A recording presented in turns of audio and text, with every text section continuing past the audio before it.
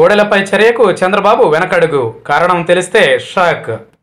మాజీ స్పీకర్ కోడెల శివప్రసాదరావు విషయంలో చంద్రబాబు నాయుడు ఎటూ తేల్చుకోలేకపోతున్నారు.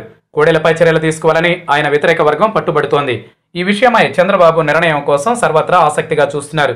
ఏపీ రాష్ట్రంలోని సత్తెనపల్లి అసెంబ్లీ స్థానం నుండి రెండు వేల పద్నాలుగు రెండు వేల పంతొమ్మిది ఎన్నికల్లో కోడెల శివప్రసాదరావు పోటీ చేశారు. రెండు వేల పద్నాలుగు ఎన్నికల్లో కోడెల శివప్రసాదరావు విజయం సాధించారు. రెండు వేల పంతొమ్మిదిలో మాత్రం వైఎస్ఆర్సీపీ అభ్యర్థి అంబటి రాంబాబు చేతిలో ఓటమి పాలయ్యారు. రెండు వేల పంతొమ్మిదిలో ఏపీ రాష్ట్రంలో టీడీపీ అధికారానికి దూరమైంది. దీంతో కోడెల శివప్రసాదరావుకు కష్టాలు మొదలయ్యాయి. సత్తెనపల్లి నియోజకవర్గంలో టీడీపీలో కోడెల వ్యతిరేక వర్గం పావులు గదుపుతోంది. కోడెల శివప్రసాదరావు కుటుంబ సభ్యులపై వరుసగా కేసులు పెట్టారు. కోడెల తనయుడు కూతురు భారీగా డబ్బులు వసూలు చేశారని వాటిని ఇప్పించాలని కోరుతూ బాధితులు పోలీసులకు ఫిర్యాదు చేశారు. ఎన్నికల ఫలితాలు వెలువడిన వారం రోజుల నుండే ఈ కేసులు ప్రారంభమయ్యాయి. వరుసగా ఫిర్యాదులు కొనసాగాయి. మరోవైపు ఈ కేసుల్లో ఎక్కువగా టీడీపీకి చెందిన వారు పెట్టినవే ఉన్నట్లు ప్రచారం సాగుతోంది. కోడెల శివప్రసాదరావును సత్యనపల్లి నియోజకవర్గం నుండి తప్పించాలని ఆయన వ్యతిరేక వర్గం కోరుతోంది. ఇటీవల సత్యనపల్లికి చెందిన టీడీపీ నేతలు కోడెల శివప్రసాదరావుకు వ్యతిరేకంగా చంద్రబాబు నాయుడుకు ఫిర్యాదు చేశారు.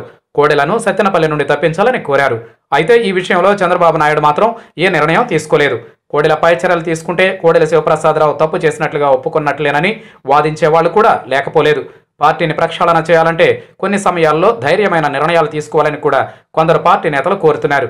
కోడెలపై చర్యలు తీసుకుంటే రాష్ట్ర వ్యాప్తంగా ఇదే తరహాలో మరికొందరి నేతలపై అసంతృప్తులు కూడా చర్యలకు డిమాండ్ చేసే అవకాశం ఉంటుంది.